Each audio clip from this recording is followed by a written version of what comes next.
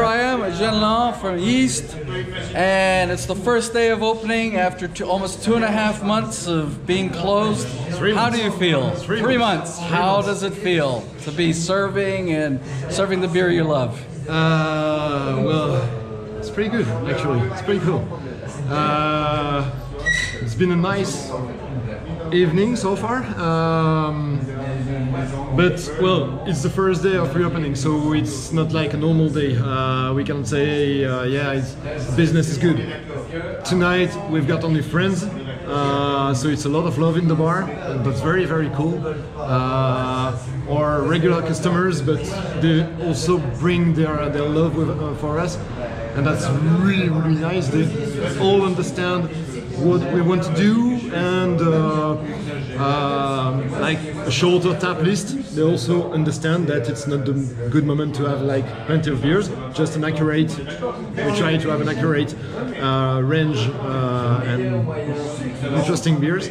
Um, but yeah it's so far it's a cool reopening very cool And how did the crowdfunding go, and what did you feel from that? I mean, that was a real moment of solidarity, I guess. Well, um,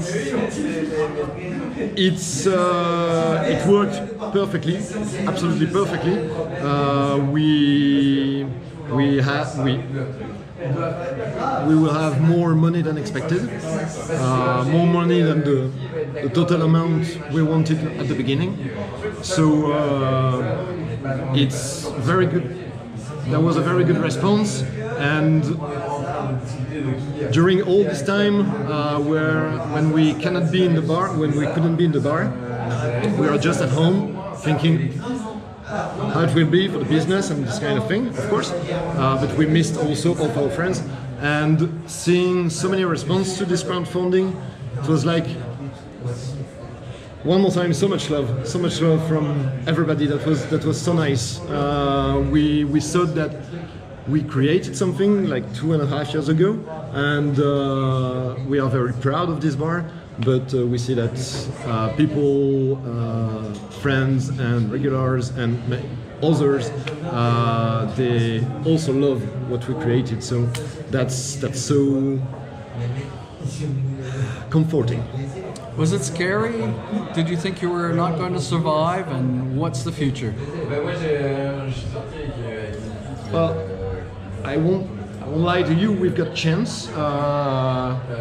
Here we we were uh, able to uh, put a rainproof terrace, uh, so that's pretty good. We have less uh, space inside. We were very very worried, worried about that, but now we've got this like a inside outside area. That's also pretty comforting. Uh, we are still in Belgium and we never know the, the weather, so uh, that's pretty cool to, uh, to see.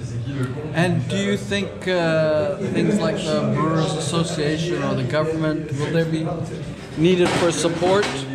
Will there be will there be need for support uh, for you think for small bars like yourself and the craft beer industry in particular? You know, every bar, every bar needs needs is uh, help. Not just us, it's not just craft beer, it's just bars.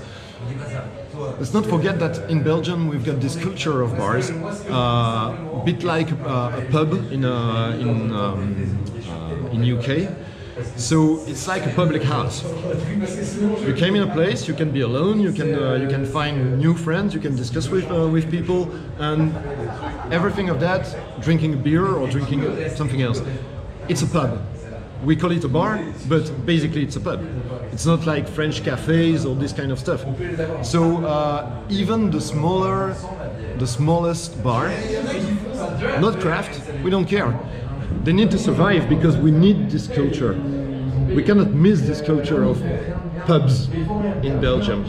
So yes, everybody needs help, and I'm very, I'm really, really sad to uh, to see that a quarter of the of the of the bars and uh, restaurants in Belgium they decided to uh, to to do a bankrupt because they were like, no, I cannot reopen these conditions. It's really sad. It's really, really sad. So it's not just us craft it's an entire industry. So uh, let's help them also. What's the way forward for you? What's what? The way forward.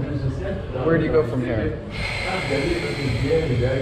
bit back again, uh, like at the first opening first, and um, I don't know.